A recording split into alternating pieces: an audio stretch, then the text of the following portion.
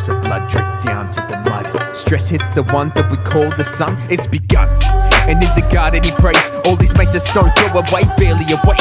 The fate of mankind relies on one man. Our life in his hands, he falls under the weight.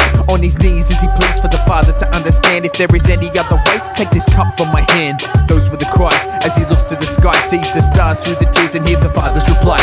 Meanwhile, in another place, bears another face, another man with a plan with some silver to waste. Their mistakes decisions to the precision of a mission that was driven by some divine vision. A bag of silver pieces for the life of a friend. There's no price for this life, don't even try to comprehend. Back to the garden, a decision was made.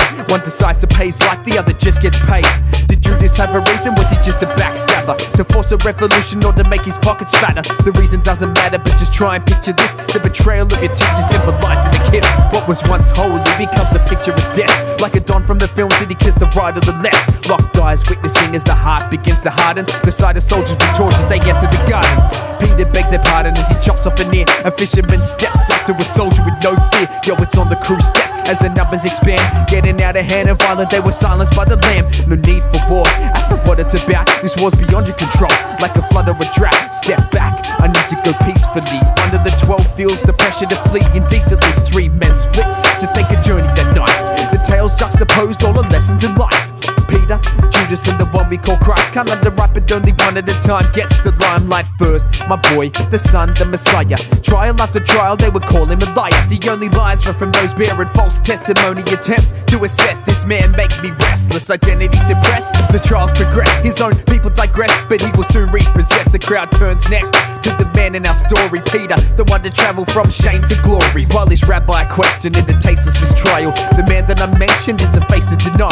Mere hours before, he charged in like a veteran. Now they ask if he knows his Jesus, and he shakes his head at them. But we've seen you with this rabbi. You were a disciple, was it truly you? Or just someone who looked like you? He tried to, but the words wouldn't come out. He shouts, I've never seen this man as it spills from his mouth. Self loathing shame hangs his head as they go. His heart heavy as he hears the sound of the rooster crow.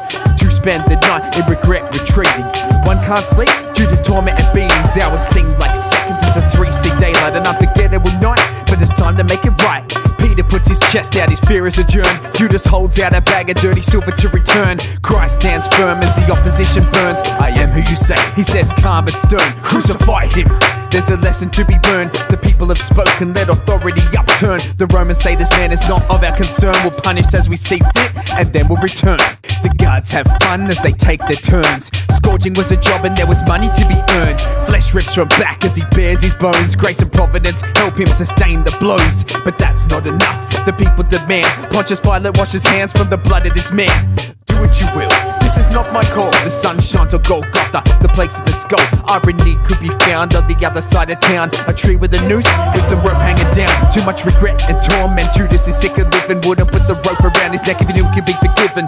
Juxtaposed, he gave his life on the same date. Peter pushes through the crowd with Mary making way, dragging a cross on the back to the place he will die. Is this a perfect death or assisted suicide? He could end it all, as a matter of fact. But he takes it like a man, there's a purpose for the act. Irony.